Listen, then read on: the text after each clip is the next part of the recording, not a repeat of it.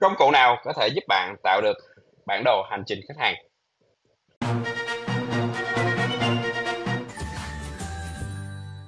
Xin chào bạn, chào mừng các bạn đến với kênh youtube của Tân Nguyễn Marketing và mình là Tân Ngày hôm nay Tân sẽ hướng dẫn cho các bạn cái cách tạo bản đồ hành trình khách hàng bằng cái công cụ Canva Manager à, Tại sao cần phải tạo cái bản đồ hành trình khách hàng? Đây là các cái bước mà khách hàng sẽ đi qua khi bắt khách hàng bắt đầu thấy được cái quảng cáo của bạn, họ sẽ làm những gì? Họ sẽ có những cái cảm giác gì? Họ sẽ có những cái hành vi gì? Suy nghĩ gì trước khi mà đi tới quyết định cuối cùng là mua hàng? Và sau khi mua hàng có những gì nữa? Thì đó là hành trình khách hàng. Và dĩ nhiên nó không chỉ sử dụng cho cái việc mà vẽ hành trình khách hàng, mà còn sử dụng cho rất nhiều việc khác trong marketing cũng như là trong phân bổ công việc. Và nếu giá trị video clip hay, thì đừng quên bấm like cũng như bấm subscribe những cái kênh ủng hộ cho Tân. Ok, bây giờ Tân cùng các bạn sẽ đi vào việc tạo tài khoản trên là Canva Ninja.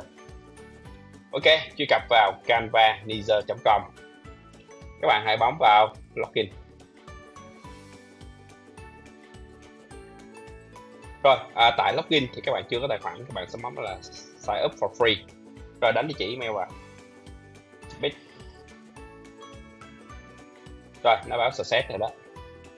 Tài khoản của bạn đã được tạo, hãy check cái inbox và very email của bạn. Rồi mở email ra. Chat Canvanizer uh, à, click to here để xác xác nhận là cài đặt cái password. Rồi thiết lập password này các bạn.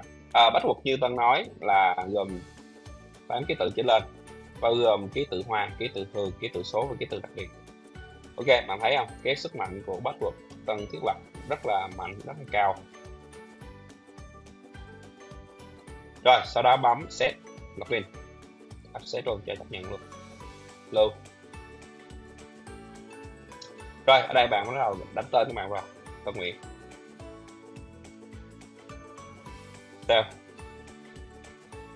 ok à, bạn không cần upgrade lên cái bản cao cấp ha. Bạn có thể là sử dụng cái bản miễn phí trước. Rồi đi qua. Rồi.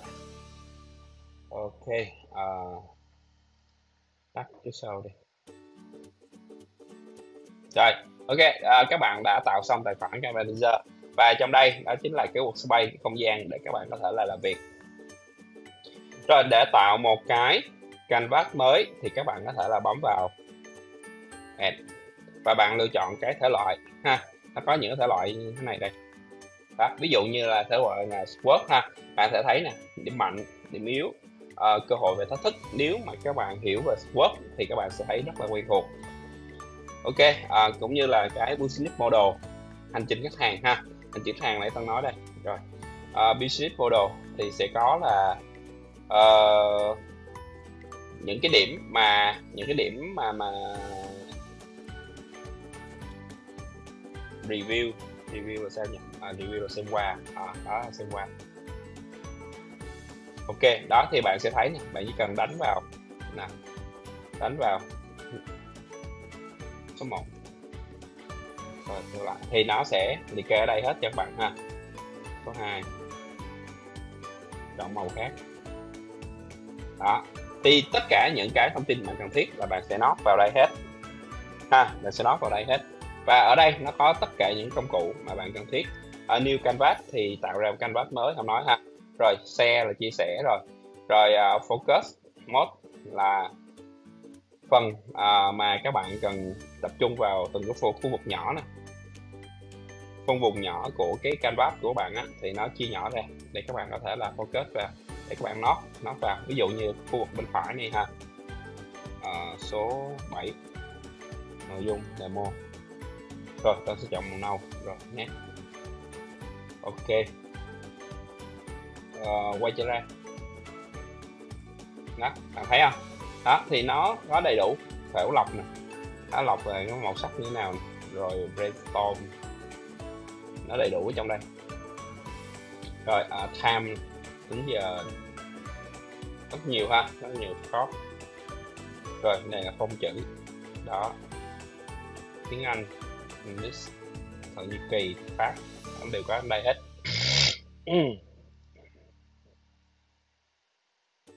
Các bạn hãy bấm vào nút subscribe, đăng ký và sau đó bật chuông thông báo tất cả để nhận được những video mới nhất từ Tân.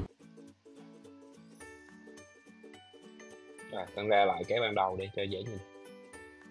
Cái canvas này thì uh, các bạn mà làm về kế hoạch đó, kế hoạch kinh doanh đó, hay là vẽ những model mô hình kinh doanh đó, bạn sẽ sử dụng nhiều. Còn với Tân những cái này thì uh, Tân thường giao cho những cái bạn mà hỗ trợ bạn làm.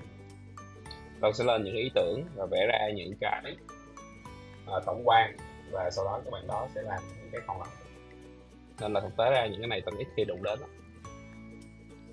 OK, như một support ha. Bấm vào nó sẽ ra. Bạn sẽ nhập điều yếu điểm mạnh cơ hội về thách thức. Rồi cơ về cái mô hình uh, kinh doanh các bạn như thế nào ở đây. Ok ha. Đó thì uh, trên cơ bản là như vậy. Còn lại để phát triển thêm à, từng cái thì bạn tự nghiên cứu thêm giúp tân vì uh, thực tế ra tân ít sử dụng những cái này nên là thiết kế sao cho đẹp thì mình cũng không có kinh nghiệm để hướng dẫn các bạn. Chỉ có một kinh nghiệm là giúp cho các bạn uh, nghiên cứu. Canvas Media.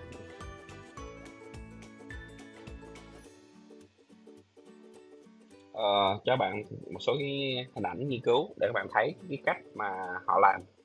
Ha đó như thế này. Đó như thế này ha rồi. Như thế này. Đó. Đó. Bạn chỉ điền những cái uh, ghi chú những cái nốt vào trong đây. Uh, chia theo từng cái khoảng mục. Của cái dự định à, kinh doanh của các bạn thì à, các bạn sẽ làm được những cái này mà thôi.